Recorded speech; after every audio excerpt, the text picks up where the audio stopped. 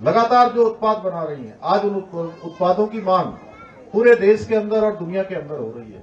हम प्रयास करेंगे, सभी हमारे महिला स्वयं सहायता समूह के साथ, हमारे सामाजिक संगठनों के साथ, एक नवाचार को और बढ़ावा देकर, हम कौशल विकास को और इस क्षेत्र में और बढ़ाकर आने वाले समय में ये क्षेत्र हमारा केवल आपदा के नाम से, केवल अन्य नामों से, जो हमारे बाबा की कृपा से जाना जाता है उसमें एक नया अध्याय जुड़े कि हमारी मातृशक्ति के उत्थान के रूप में, एक ब्रांडिंग के रूप में, हमारे नौजवान एक नवाचार नई नई चीज़ों पर यहाँ पर काम करें, उसके नाते ये हमारा पूरा क्षेत्र जाना जाए। उसके लिए हम काम करेंगे और उसमें आप सबका सहयोग चाहिए। और अभी मैं आज आप सबके बीच में आया हूँ, आपका धन्यवाद कर रहा हूँ और हमने आज शासन में सारे भागों को जो हमारी शीतकालीन प्रवास की तैयारी है, उस तैयारी के लिए अभी 10 तारीख को एक हमारी बड़े स्तर की एक बैठक देहरादून में हो रही है। और यात्रा जब शुरू होती है, पहले ऐसा होता था कि यात्रा शुरू होती थी, तब बैठकें होती थी। हमने कहा कि इस बार जैसे ही यात्रा समाप्त होगी, हम नई यात्रा की तैयारी के लिए बैठक शुरू करेंगे। और हम बैठक कर रहे हैं। और जो हमारे शीतकालीन प्रवास के बहुत सारे स्थान हैं, चाहे आज हमारा ये बाबा ओंकारे- ओंकारेश्वर का स्थान हो, हमारा काली मठ का स्थान हो, कार्तिक स्वामी का स्थान हो, चौथा हो, अनेक बदानी ताल हो, ऐसे अनेक स्थान हमारे इस पूरे जनपद के अंदर हैं।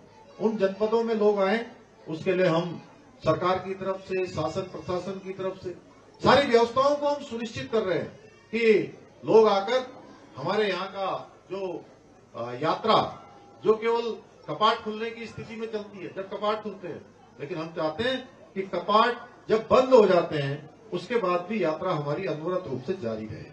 उसके लिए प्रचार प्रसार हम कर रहे हैं, उन व्यवस्थाओं को सुनिश्चित कर रहे हैं कि कड़ाके की ठंड में किस प्रकार की कैसी व्यवस्था वहाँ पर होनी चाहिए, कैसे लोगों को बताया जाए, हमारे होम स्टे हैं, हमारे होटल हैं, टैक्सी वाले हैं, ढाबे वाले हैं, हमारे अन्य उत्पाद के काम करने वाले हैं। सभी को किसी न किसी रूप में काम मिले, और लगातार 12 के 12 महीने उनका अनवरत रूप से आना रहे, आते आप वो आएँगे। तो निश्चित रूप से आने वाले समय में आज हमारा राज्य, हमारे प्रधानमंत्री आदरणीय मोदी जी के मार्गदर्शन में बहुत तेज़ी से आगे बढ़ रहा है, क्योंकि वो बाबा केदार के अनन्य भक्त हैं और उन्होंने इसी बाबा केदार की भूमि से कहा था 21वीं सदी का तीसरा दशक उत्तराखंड का दशक होगा। यानी इसका अर्थ है, उनके शब्दों में जो शिव रूपी शब्द थे, बाबा केदार के शब्द थे, कि 10 साल आने वाले, ये हमारे उत्तराखंड के होंगे, हमारी माताओं, बहनों के होंगे, हमारे नौजवानों के होंगे, हमारे बड़े बुज़ुर्गों के आशीर्वाद से, हमारा राज्य, हमारे देवों की कृपा से, हमारा राज्य हिंदुस्तान का पहले नंबर का राज्य बनेगा, हमारा राज्य श्रेष्ठ राज्य बनेगा, आदर्श राज्य बनेगा, उस सबको हम सबको बनाना है, हम उस दिशा में आज आगे भी बढ़ रहे हैं। अभी हमारी नीति आयोग की रिपोर्ट आई है पूरे नीति आयोग भारतवर्ष के सभी राज्यों की एक रिपोर्ट बनाता है कि किस राज्य ने सतत विकास के लक्ष्यों को प्राप्त करने में किस तेज गति से काम किया है। मुझे भगवान ओंकारेश्वर के इस प्रांगण में आप सबको बताते हुए खुशी हो रही है कि पूरे देश के अंदर जो रैंकिंग आई है, हमारे राज्य की रैंकिंग नंबर वन पर आई है। पहले नंबर पर हमारा राज्य है बेरोजगारी कम करने पे भी हमने राष्ट्रीय औसत को पीछे छोड़ दिया है। जो तेरह दशमलव चार हमारी बेरोजगारी दर होती थी, बेरोजगारी का औसत था, उसको हमने कम कर दिया है।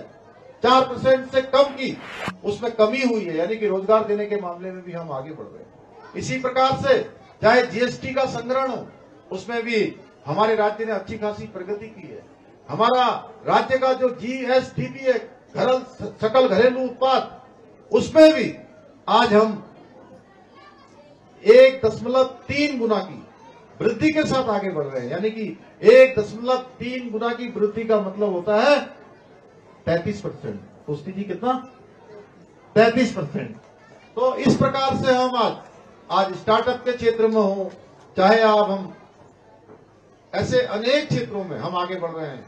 आपको पता है, हम नकल का कानून लेकर आए हैं, नकल के कानून के कारण से।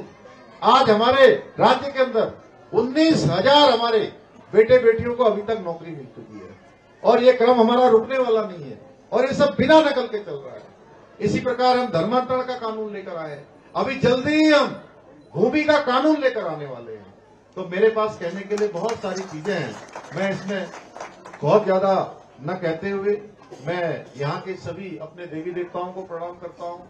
यहाँ की सभी महान विभूति को प्रणाम करता हूँ। शहीद अशोक कैशव जी का जो उत्तराखंड राज्य राज्य आंदोलनकारी उनका भी ये गाँव है, उनको भी मैं नमन करता हूँ और आप सबको एक बार फिर से धन्यवाद करते हुए और आपने जितनी बातें हमारे राणा जी ने मुझे बताई है, मैं उनको सबको लेकर जा रहा हूँ। आशा जी को आपने विधायक बना दिया है और आशा जी अब सारे कामों को आगे बढ़ाने के लिए लगातार प्रयास करेंगी। पहले ही हम मधमेश्वर धाम का विकास हो, कालीमठ धाम का विकास हो गौरीकंड स्थित गौरी माई का मंदिर परिसर हो, या हमारा कार्तिक स्वामी परिसर हो चौपता हो, अनेक क्षेत्रों के, चाहे हमारा त्रिजुगी नारायण उन सब के विकास के लिए हम काम कर रहे हैं। चार धाम की तर्ज पर उनके मास्टर प्लान को आगे बढ़ाने के लिए काम कर रहे हैं। तो मैं इन सब चीज़ों को बहुत लंबा हो जाएगा, बोलते रहूँगा तो अभी हम लोगों को सबको पांडव नृत्य भी देखना और कल हम यात्रा का, शीतकालीन यात्रा का शुभारंभ भी हम बाबा केदार के चरणों में, उनके चरणों से प्रारंभ कर रहे हैं कि ये यात्रा हमारी अब अनवरत रूप से चलती रहे। यानी कि ये यात्रा हम शुरू कर रहे हैं हे भगवान, आप हम सब पर कृपा करना, हमारे पूरे क्षेत्र पर कृपा करना, हमारे राज्य पर कृपा करना, हमारे राज्य के प्रत्येक रहने वाले पर कृपा करना और हमारे यहाँ आने वालों पर भी कृपा करना। उनको भी हम आमंत्रित कर रहे हैं। इतना ही आप सबसे कहते हुए, आप सबको फिर से, हृदय से आप सबका धन्यवाद करते हुए मैं अपनी बात समाप्त करता हूँ। बहुत बहुत धन्यवाद।